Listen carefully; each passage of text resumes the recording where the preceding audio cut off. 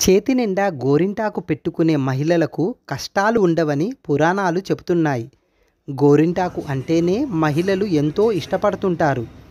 చిన్న చిన్న ఫంక్షన్లైనా పెద్ద పెద్ద వేడుకలైనా గోరింటాకు లేకుండా ఏ శుభకార్యం జరగదు. ప్రస్తుతం గోరింటాకు నూరి పెట్టుకోకపోయినా మెహందీలపై మహిళలు ఎక్కువ ఆసక్తి చూపుతున్నారు. పెళ్ళిళ్ళకు ముందు మెహందీ ఫంక్షన్ గ్రాండ్గా నిర్వహిస్తున్నారు. అలాంటి గోరింటాకు ఎందుకంత ప్రాశస్తమైందంటే గోరింటాకుకు సీతమ్మ తల్లివలే ఇంత గొప్పతనం లభించిందని పురాణాలు చెబుతున్నాయి.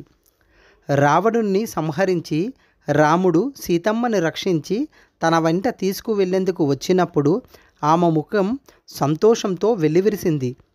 అప్పుడు సీతాదేవి రాముని వద్ద అశోకవనంలో తాను ఉన్నంతకాలం ప్రతిరోజు తన కష్టాలను గోరింటాకు చెట్టుతో చెప్పుకున్నానని ఈ గోరింటాకు చెట్టుకు తాము ఏదైనా చేయాలని కోరింది. ఇందులో భాగంగానే సీతమ్మ గోరింటాకు చెట్టును ఒక వరం కోరుకోమంది.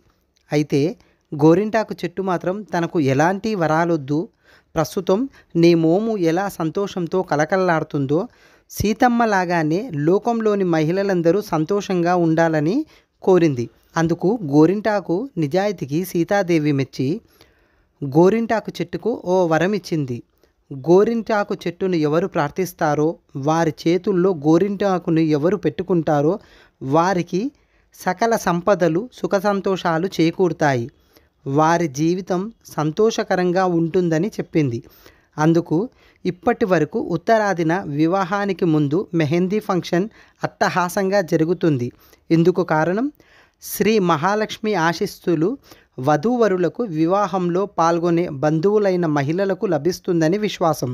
అందుకే శుక్రవారం పూట గోరింటాకును మహాలక్ష్మీదేవిని ధ్యానించి చేతులు పండెంతగా పెట్టుకుంటే మహిళలకు ఎలాంటి కష్టాలు ఉండవని శ్రీ మహాలక్ష్మీదేవి అనుగ్రహం లభిస్తుందని పండితులు చెబుతున్నారు.